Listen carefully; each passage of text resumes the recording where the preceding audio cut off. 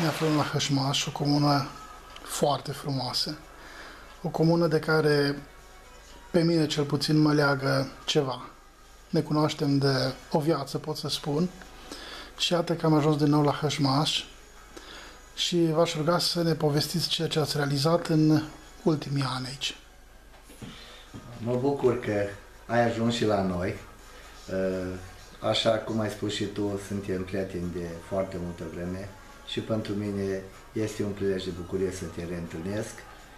Uh, ce să spun, uh, am încercat ca și primar să-mi fac treaba bine și să fac administrație și mai puțină politică.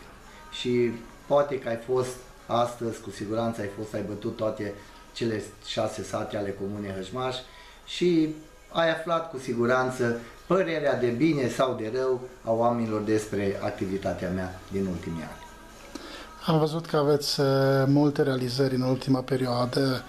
Uh, spuneți-ne ceva despre refugiu turistic, pentru că este un loc frumos, este o clădire foarte frumoasă pe care ați realizat-o. Uh, aș vrea să, vă, să îți spun că acest refugiu turistic este doar o parte a unui proiect mai mare realizat în cadrul măsurii 313 din PNDR-ul 2007-2013.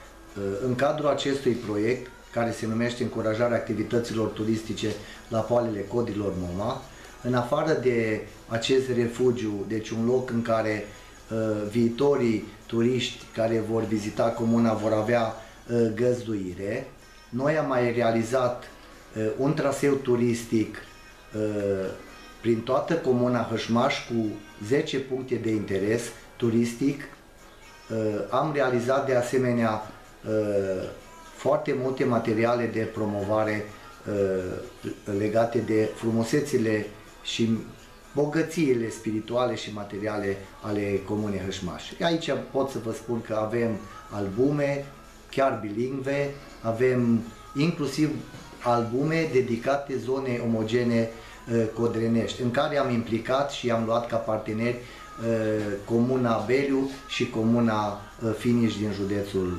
Bihor. În afară de albume am realizat uh, broșuri, uh, inclusiv harta, harta cu traseu turistic. Am văzut că aveți și alte realizări, regularizarea văilor, uh, comuna este asfaltată aproape în totalitate, ceea ce e un lucru foarte frumos, foarte benefic. Aș vrea să vă spun că deci în, uh, în ultimii patru ani de mandat deci am, am încercat și în bună parte am reușit ca să ne apropiem de finalul uh, asfaltărilor drumurilor comunale. Comuna Hășmaș are trei drumuri comunale, DC10 Hășmaș-Clit de 2,5 km, are drumul comunal DC11 Comănești, Advișul Mic, Botfei pe 6,5 km și al treilea drum, drumul Hășmaș-Urviș de Beliu pe 3 km. Aș vrea să, să precizez că acest drum, ultimul de care am vorbit, respectiv drumul Hășmașul Viș de Beliu, uh, am făcut recepția uh, de final, recepția la terminarea lucrărilor în 2014. El s-a realizat uh, în cadrul unui alt proiect câștigat prin PNDR 2007-2013, respectiv modernizarea infrastructurii rutiere distruse de calamități. Este un drum de 3 km cu dublu strat asfaltic, uh, iar satul uh, prin care, în care se închide acest drum, respectiv satul Viș de Veliu, uh, are canalizarea pluvială asigurată, accesele la proprietăți sunt asfaltate, deci o lucrare, să zic, benefică și în spirit cu vremea în care trăim astăzi. Uh, în curând vom finaliza un alt drum comunal, drumul comunal spre Clit, drumul DC10, mai avem doar așternerea cuvorului asfaltic în localitatea Clit și ea o localitate cu rădăcini istorice adânci. Avem chiar o cetate uh, dacică la Gurețul Negrilor. Dar sunt și alte, alte obiective de interes turistic. Aș vrea să mai precizez că tot legat de infrastructura rutieră, Uh, am reușit să finalizăm uh, asfaltarea tuturor străzilor uh, din centru de comună din Hășmaș și am depus la sfârșitul anului trecut pe nou PNDR 2014-2020 un alt proiect prin care vrem să asfaltăm toate străzile secundare ale celorlalte 5 sate din comuna Hășmaș. Să înțeleg că în Hășmaș toate străzile sunt asfaltate, nu? Adevărat. Toate străzile sunt asfaltate, avem uh, toate străzile au, au trotuare și canalizare pluvială. Frumos.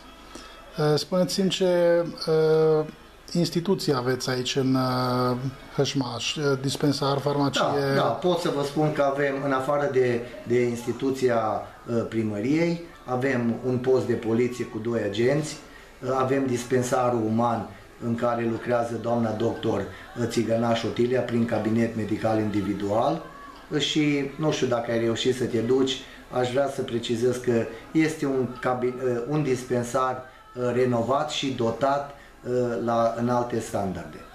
De asemenea avem chiar și o farmacie care am constatat că a fost o investiție bună pentru cetățenii noștri. Pe alt minte trebuia să meargă până la Beriu ca să-și poată cumpăra, să zic, un algocalmin sau nu știu ce alt medicament. De asemenea avem căminul cultural, la fel foarte aranjat. Este și, foarte frumos. Da, Chiar am fost mai înainte acolo. Da, și uh, este și dotat. Singurul lucru care încă nu este finalizat e vorba de, de scenă care acum suntem în tratative ca să putem rezolva. Avem și sonorizare profesională, deci condiții, să zic, relativ bune pentru petrecerea uh, timpului liber al oamenilor din Comuna Hășmaș. Și a evenimentelor, la urmă. Și a evenimentelor, aveți dreptate. Da. De asemenea, nu pot să nu precizez școala gimnazială cu grădinița, uh, dar, din păcate, uh, din punct de vedere al uh, modernizării, pot să spun că este o nerealizare din punctul meu de vedere, pentru că chiar dacă uh, am avut un proiect depus în cadrul programului operațional regional pentru modernizarea și uh, dotarea cu aparatură și uh, material didactic performant, uh, proiectul nostru a fost respins la uh, 0,16 sutimi. Uh, și să știți că m-am supărat, am, am fost foarte necăjit pentru că n-am putut să pricep că pentru 0,16 sutim uh, ai putut să iei de la o comunitate mică cum e a noastră în jur de 250.000-300.000 de euro cu care școala arăta altfel acum. Dar bănuiesc că nu vă lăsați și o să depuneți alt proiect. E adevărat, uh, suntem în lucru, aproape proiectul este gata. Uh, am lucrat cu o echipă de arhitecți din Arad, de bună calitate, să zic, și cât de curând așteptăm să se lanseze noua sesiune pentru programul operațional regional pentru investiții în infrastructura școlară și cu siguranță de data asta sper să avem succes. Aș vrea să-ți precizez că uh, anul trecut am reușit să inaugurăm în curtea școlii gimnaziale un teren uh, de fotbal uh, cu covor sintetic și uh, pot să spun că poate că am adus bucurie mai ales tinerilor uh, mai mult decât aș fi făcut 50 uh, de kilometri de asfalt.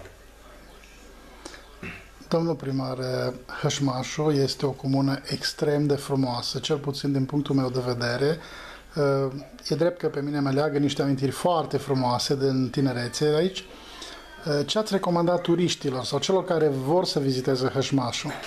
În primul rând le-aș adresa urarea de Uh, bun venit în Hășmaș și uh, aș consider că punctul de unde ar trebui să plece ar trebui să fie uh, primăria Hășmaș. Vreau să-ți precizez, cum am spus și mai devreme, că în momentul ăsta suntem în măsură să dăm doritorilor sau viitorilor turiști, potențialilor turiști care vin în Hășmaș, să le dăm informațiile necesare ca să se simtă bine în Hășmaș le putem pune la dispoziție hărți cu traseele turistice din Comuna Hășmaș, albume fotografice, deci materiale de promovare uh, foarte multe. Și cu siguranță vor găsi în primul rând multă ospitalitate în rândul concetățenilor mei, uh, case frumoase, obiceiuri și mâncăruri alese.